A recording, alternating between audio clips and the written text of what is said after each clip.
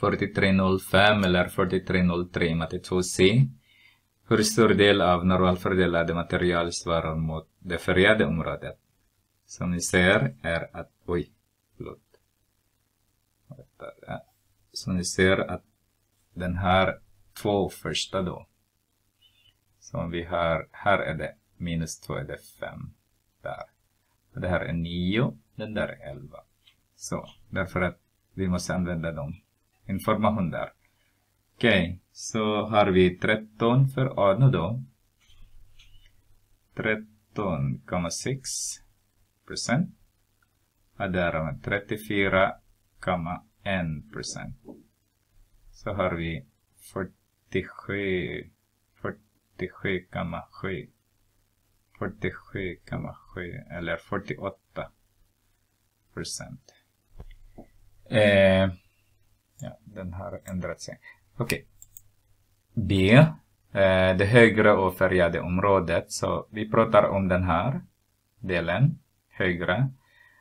Som jag har sagt innan, den hela under den här kurvan är 100%.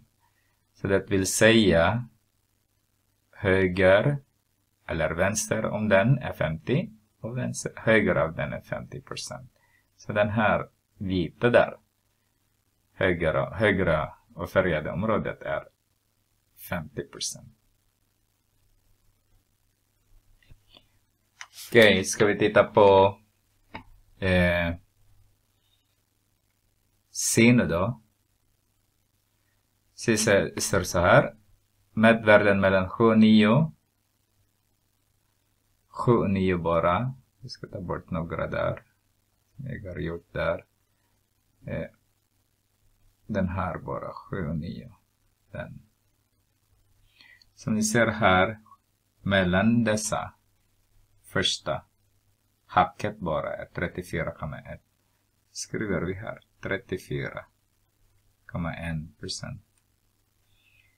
D med värden med mindre än 3 Alltså den här vi pratar om. Är svansen. Och vi ser här att det är 2,3 procent.